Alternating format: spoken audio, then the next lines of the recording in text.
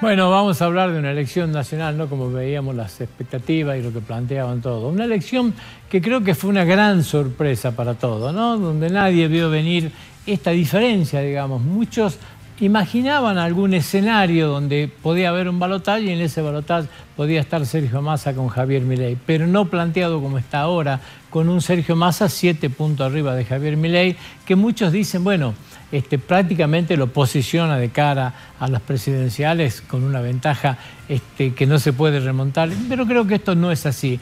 Todas las encuestas hablaron de otra cosa. ¿sí? Hubo una sola encuesta que la dio la CNN, que le daba tres puntos arriba más y que fue fuertemente criticado. Parecía que era una operación política, decían todos. La realidad es que la única que se acercó, ¿no es cierto?, a esto que nos tocó vivir en el día de ayer. Un Sergio Massa casi siete puntos arriba. ¿Está definida la elección? No es una elección absolutamente nueva. Creo que sería una irresponsabilidad hablar de una elección definida.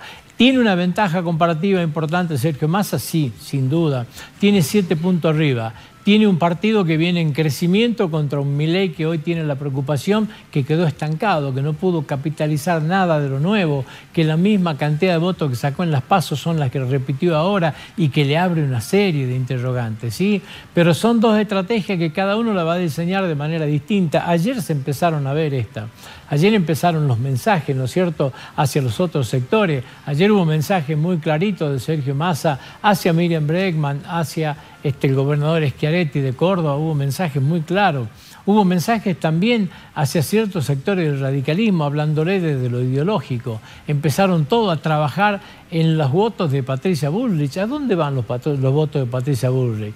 Da la sensación que hay votos radicales que pueden irse mucho más hacia lo de mi ley. Empieza una campaña, ¿no es cierto?, para tratar de seducir esto. ¿A dónde van los votos del PRO? Y muchos dicen, da la sensación que van para el lado de mi ley. Si de hecho Mauricio Macri, ¿no es cierto?, coqueteó permanentemente con, con Javier Milei. Bueno, empieza una estrategia absolutamente nueva. Ha asombrado a todos lo que ha sucedido en esta elección. Muchos decían, ¿cómo puede ser posible que ante esta situación económica, ante la situación imperante en materia de pobreza, la situación en materia de inflación, lo que pasaba con las monedas extranjeras, la reserva del Banco Central, bueno, nada de esto importó. Sergio Massa con mucha inteligencia logró posesionarse como la alternativa, a pesar de para muchos ser más de lo mismo. Bueno, en esta virtud de Sergio Massa creo que va a estar la fortaleza más grande de lo que va a ser la campaña de cara al día este, 19 de noviembre. Ahora, ¿dónde está mi ley en esto? Lo, hemos, lo acabamos de ver